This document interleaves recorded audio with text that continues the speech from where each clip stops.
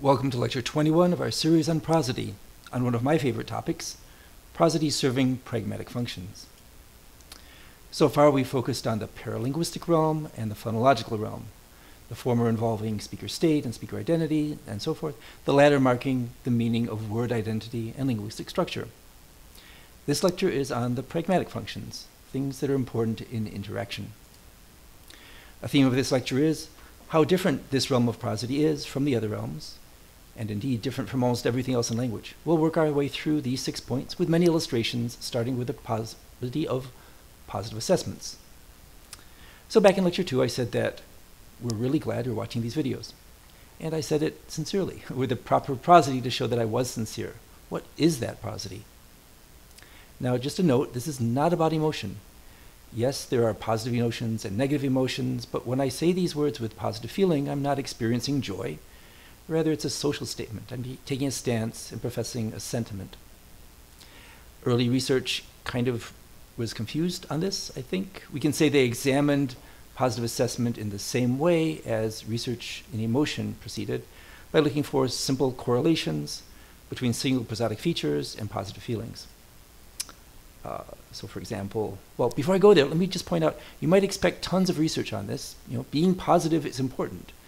In most conversations, people find an opportunity to express positive feeling at least a few times, but in the research realm, there's hundreds more papers on the prosody of anger than the prosody of positive feeling. So I don't know, go figure.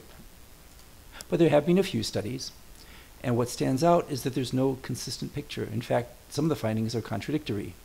Some find lengthening, longer vowels, sometimes others find increase in speaking rate, sometimes have have been finding of louder speech, others find quieter speech. Uh, there's technical issues with exactly what's being measured and variation across genres, but the deeper problem is that everybody's me measuring different aspects of prosody in isolation. It's like the parable, uh, parable of the blind man and the elephant. Each is doing his best, uh, but when you only look at volume in isolation, or only look at speaking rate in isolation, or pitch slope in isolation, you get a strange picture. What happens if you put all the information together? Well, then the picture looks kind of like this. Uh, positive assessment. First, a region of high pitch, then a region of lengthening and significant loudness. It sounds kind of like this. Good job. The components have to come in this order. They're not generically correlating. Experimentally, there is a specific temporal configuration. So there's the first big point to make. Uh, we can call this the positive assessment construction. It's very widely used. Here's a couple of examples.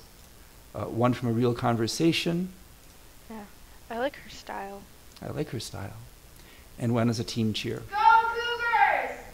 A few existing ex additional examples. In the first one, the prosody is reinforcing the lexical meaning. At my last job with tutoring, I loved teaching. I love helping kids. Like that part has never left me. Like. And you can hear the positive assessment prosody appearing twice. The little ovals show where it occurs. At other times, the prosody is sort of pulling its own weight, as in the last example. It doesn't look specifically positive just from the words, but if you listen to it. There you go. All right, they're playing a video game. One of them is instructing the other. The, the, the second player has done the right thing, and the praise is, there you go. All right, so these examples were to show that this configuration, the positive assessment construction, can express many times of positive assessment and express it in many contexts. Uh, just to drive the point home, this is a configuration and a multi-stream configuration. It's not just about pitch, not just about loudness, it's all these things happening together. Let's consider another example, the late peak construction. Now in lecture 17, I talked about this as a mid-level feature, um, but we can equally well analyze it as a construction. In either case, what's important is the departure from the general pattern, seen on the left, where pitch peaks align with energy peaks on stressed syllables. It's sort of a natural thing to do. If I'm talking about an elephant, I will talk about an elephant, where the motion and the pitch peak and the energy peak all align. But you can also make the pitch peak come a little bit later, as seen at right. So here are two diagrams uh, illustrating the difference on the word marmalade. In the first, you see the two pitch peaks, the pitch peak and the energy peak, very close. And the second, you see the pitch peak delayed, it's late, it's, uh, it's over a syllable, It comes all the way over into the next syllable. Uh, the first one sounds like this. Let's try that again. The first one sounds like this. The marmalade. And the second one sounds like this. Mariana made the marmalade. Marmalade. All right. Maybe you're getting a feeling of implication. Maybe we should try the marmalade. All right. Late peak has a lot of functions. Uh, here's another example for German, uh, where question marking in German can include a late peak coming early in the utterance. Uh, the, the rise at the end, um, in some contexts, is less important than that early peak. Uh, in the first case, the statement, you see the pitch peak, the blue arrow aligning pretty well with the energy peak within the stress syllable of Katharina. In the second case, the pitch peak comes late. The blue arrow comes after the green arrow. Um, it's actually outside of the stress syllable, shown in gray. So the first one sounds like this. Katharina sucht eine Wohnung. And the second one like this. Katharina sucht eine Wohnung. All right. And just again comparing the names. Katharina sucht. Katharina sucht. All right. Yeah. So even if you didn't hear the rest of it, you could probably figure out that the second one is going to turn into a question. Coming back to English. This difference is often implicated in politeness. So here's an exercise, if you like. Give it a try. So you can try saying this phrase, maybe we can talk more over coffee, in two ways. First, with aligned peaks on the stressed syllables. Something like, maybe we can talk more over coffee. Pretty cold. Not very sincere. It's like it's never going to happen. Or you can say it with the delayed peaks. Well, maybe we can talk more over coffee, where it's a sincere invitation. Pause if you like and give it a try.